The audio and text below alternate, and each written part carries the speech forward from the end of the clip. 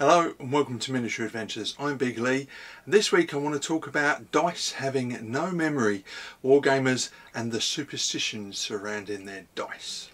So this week's talking point was inspired by a conversation I had with my daughter while at the Medway Gaming Festival last weekend.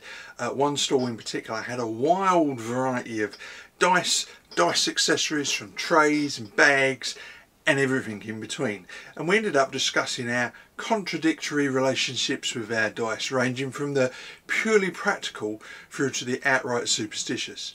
Uh, it, in the exciting and varied world of wargaming, dice serve as the arbiters of fate, the silent deciders of victory or defeat. These small, unassuming cubes or other polyhedral shapes adorned with pips or numbers hold an outsized place in the hearts and minds of wargamers, board gamers and role players the world over.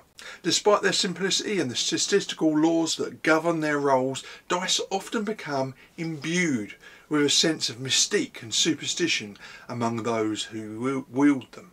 So today's talking point explores the common superstitions wargamers hold about dice, the reasons behind those beliefs, and the fundamental truth that dice have no memory.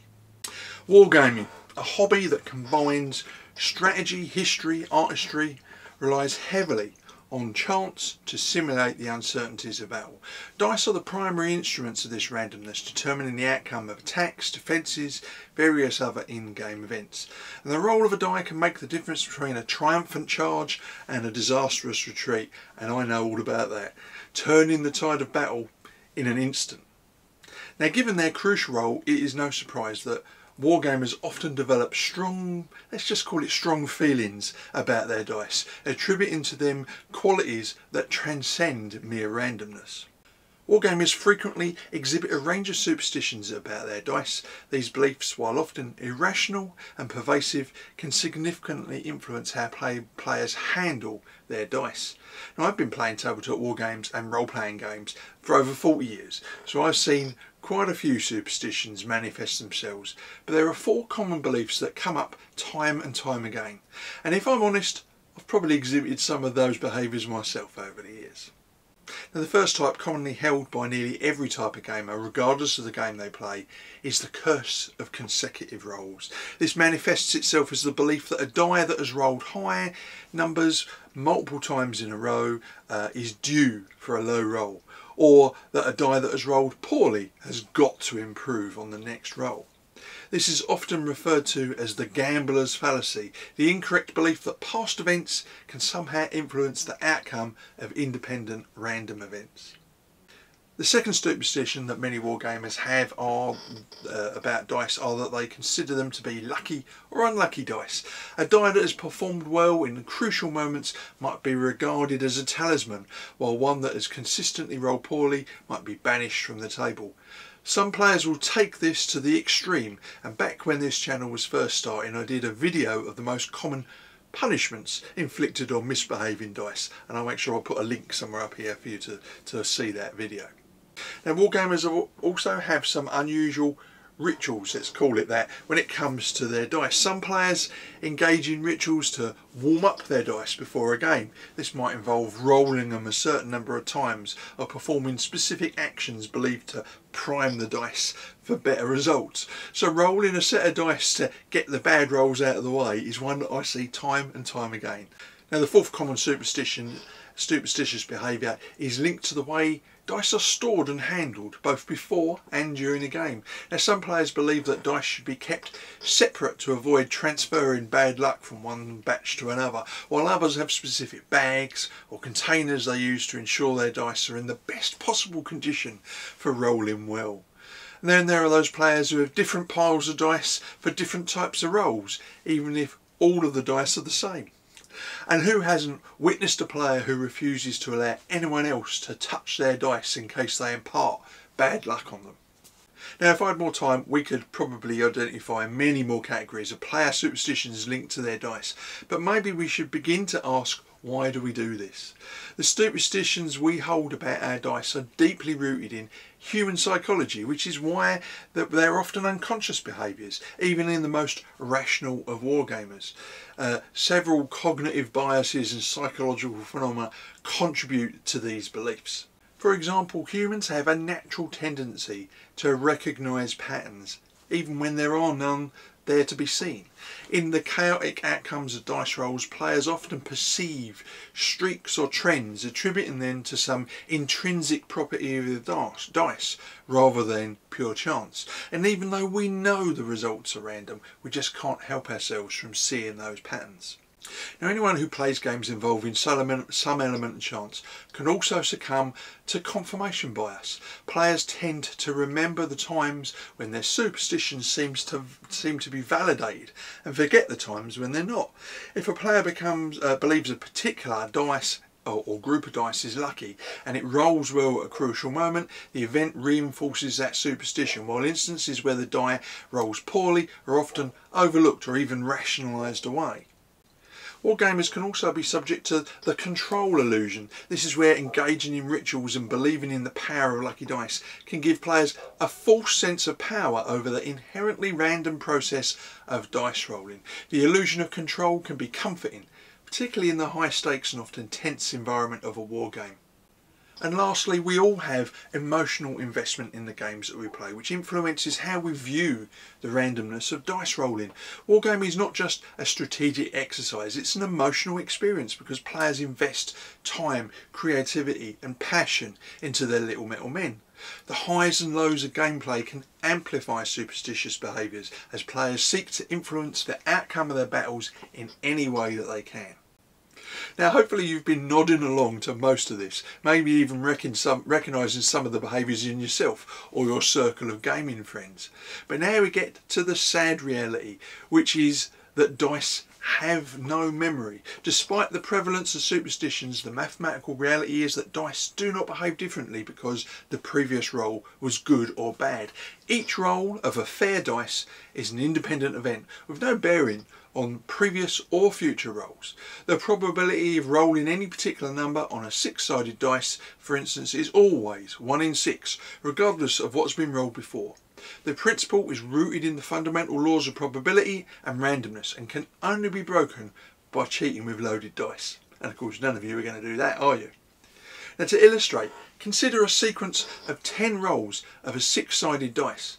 In the first five rolls, all results are high numbers, you know, say a 5 or a 6. It might seem intuitive to expect lower numbers to follow. However, the die doesn't remember its previous results. The chance of rolling the 6 on the next roll remains exactly the same, 1 in 6, just as it was for each of the previous rolls. The lack of memory is a defining characteristic of true randomness. Now of course understanding that dice have no memory can be both liberating and terrifying for wargamers. By accepting the inherent randomness of dice rolls, players can focus more on their strategies and less on attempting to influence the outcomes through superstitions. Embracing the randomness means recognising that over time the law of large numbers will balance out the highs and lows. Good and bad rolls are part of the game's fabric, adding to the unpredictability and excitement that make wargaming so engaging. And influencing the outcome of your battles is more to do with how you play than any perceived effect of the dice.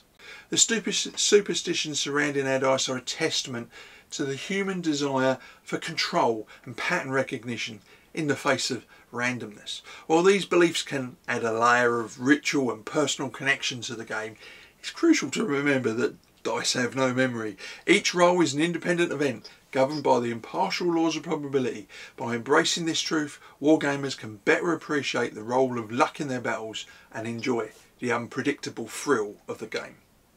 So as usual, I want to ask, what do you think? Have I spoken heresy? No, you're about to rage quit your subscription to this channel? Please don't, by the way. uh, or are you laughing gently at the truth of our superstitious uh, superstitions laid bare? And do you or anyone you know have any unusual or quirky dice superstitions not mentioned in today's topic? As always, I would love to hear what you think in the comments below. So time for a hobby update. Now, as mentioned in my introduction, I visited the Medway Gaming Festival last weekend. I was accompanied by my daughter, who's very much a, a role player and computer gamer, despite being forced to play war games when she was a child. Actually, our respective fandoms overlap quite a lot. So I knew we would both enjoy the show uh, not least because I got it was Father's Day and I got to spend time with my daughter.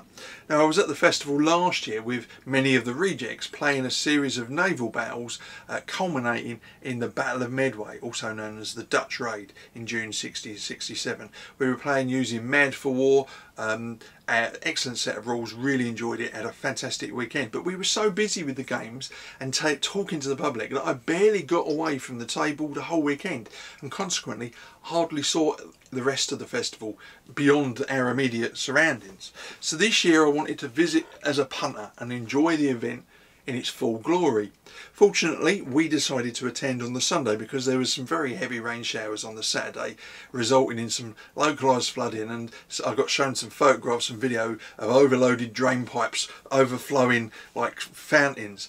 But on Sunday the weather was much kinder, it was nice and warm but not too hot and we had a lovely lovely day. Now the event is an eclectic mix of games of all kinds, from computer games, new and old, war games, role-playing games, card games, and in addition there were quite a few cosplayers there on the Sunday making this a very colourful event, something akin to, I don't know, a slimmed down version of Comic-Con. Um, there were plenty of trade stands selling all manner of games, toys, memorabilia, comics and artwork. You know, this isn't a war game show, but there are several tabletop games mixed in amongst the stalls, making this a very varied and enjoyable celebration of geek culture. And I thoroughly enjoyed spending the day with my daughter, and I expect this won't be my last visit to the Medway Gaming Festival. So a quick look at the workbench uh, update this week. My moratorium on painting anything that isn't needed for my upcoming Bosworth game is still in place, even though it's hard to ignore several projects that I really want to do. But I've been working on a few small terrain items for 6mm games, some of which may also make it onto the table for the game in a few weeks' time. One item that needs to be done, or has, uh, has been now been done, was a remake of the infamous Marsh in which Richard III is said to have met his end at Bosworth. I had something made, but I really wasn't happy with it, so I've made another version of the Marsh. This time, more in keeping with the archaeology of the battlefield and my interpretation of the maps and, the, and say the archaeology that I've read most recently. And I've also been working on a few small groups of trees to use as decoration, um, yeah, more than anything else, rather than as terrain. Um, the beauty of these sort of items is they can be used in any 6mm of my 6mm collections. A tree is a tree, regardless of the time period. Well that's it for this week. As always if you enjoyed the video please join in the conversation in the comments below and remember to like, subscribe and share. And if you want to keep up to date with weekly content from my channel please tap the bell notification icon. So until next week stay safe, keep gaming and of course keep rolling high.